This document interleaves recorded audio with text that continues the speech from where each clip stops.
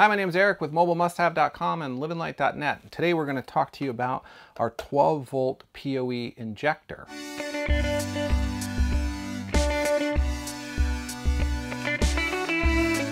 We're super excited to talk to you about this little device.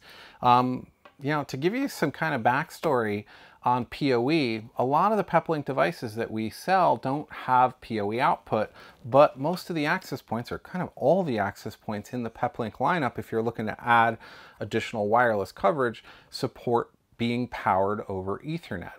So we were like, oh, okay, well then maybe we should just get PoE injectors or PoE switches to provide power to these.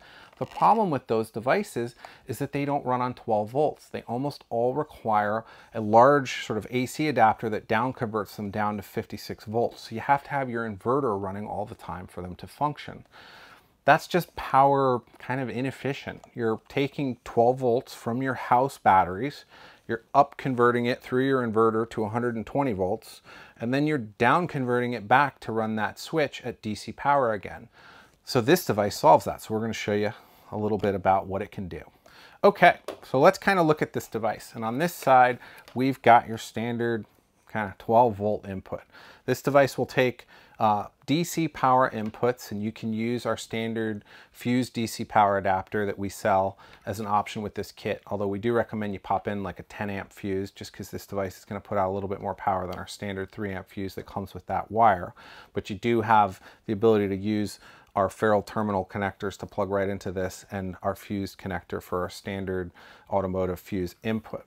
Once you put that 12 volt power in, that's gonna power up this device. You will see 120 volt input over here. That's typically not used in an RV, but it is a secondary input source. So you could plug it in to just a regular AC power and it'll act like any old PoE injector. But for this video, we're gonna focus on the DC power input because that's gonna be the most efficient to keep us from needing an inverter. Once we power that up, that's going to enable our two ports here. Our data input port is where it's going to receive information from. So this would typically go into the LAN port of your Peplink device.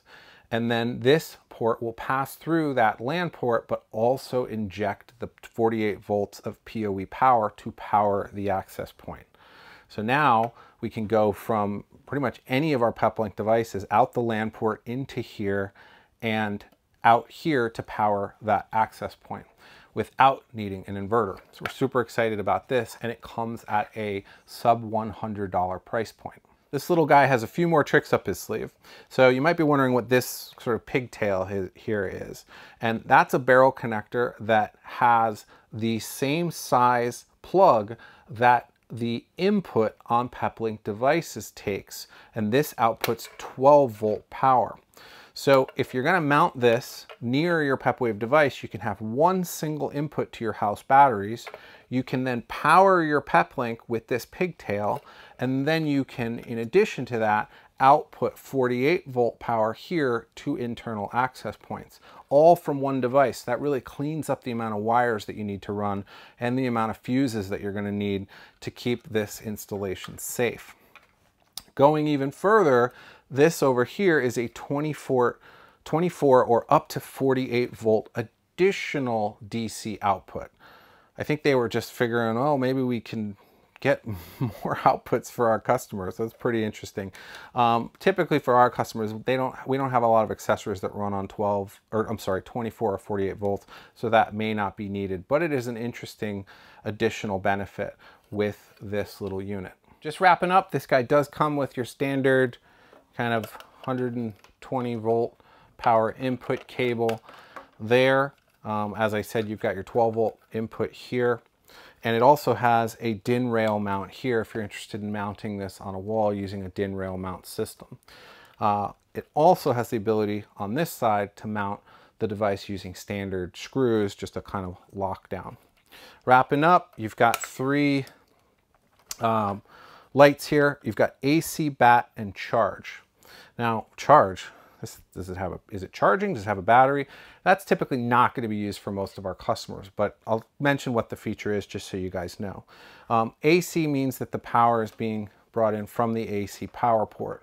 Uh, battery would mean that the power is being brought in from the 12 volt connector.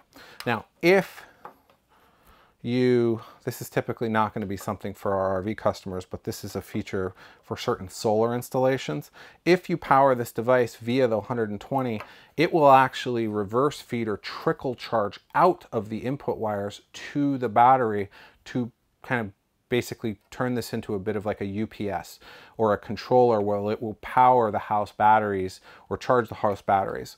Now that's typically not needed in RV installation because you have your own charger or inverter charger in your setup and these are going to be the only wires you use, meaning they're going to be input wires. So we're not going to use that for most of our installations. We're just going to use that and that will give us all of the features to power up our PepWave access points. If you guys have any questions or concerns, you can always start up a chat at mobilemusthave.com or email us at info at mobilemusthave.com as well. Thank you so much for watching, and we'll see you on the road.